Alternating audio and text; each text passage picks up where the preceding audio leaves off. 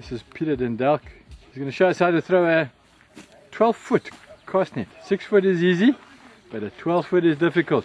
So right, Tony, come in a bit closer. I want to show you something quickly.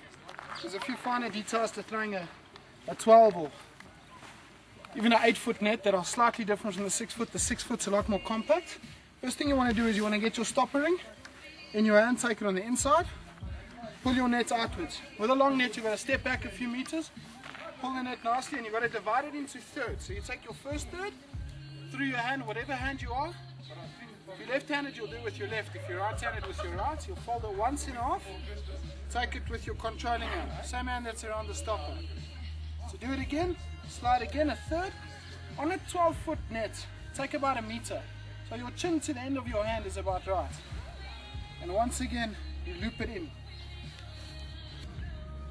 What you want to do is you want to take up your throw line to nice little loops.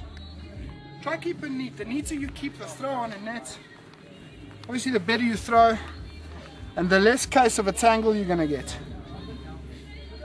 You got your nice loops there. Meter loops are fine, that's about a meter. Then your end rope, going to put that around your wrist. Once that's done, take it out nicely like that. Take one corner with your prominent hand, your right hand, or if you're left-handed, the other hand, in your mouth. Now once that's in your mouth, you throw the other half over your shoulder, and you keep throwing till approximately half the net is behind you, and half the net is in front of you. So basically it's like this.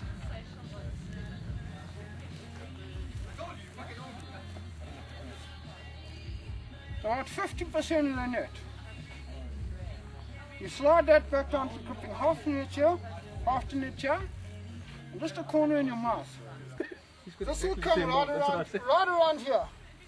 It'll wrap right around your body. And when you throw, it's important to throw with your entire body, not just your arms, otherwise you'll never throw the thing. As you come up, That's bloody awesome.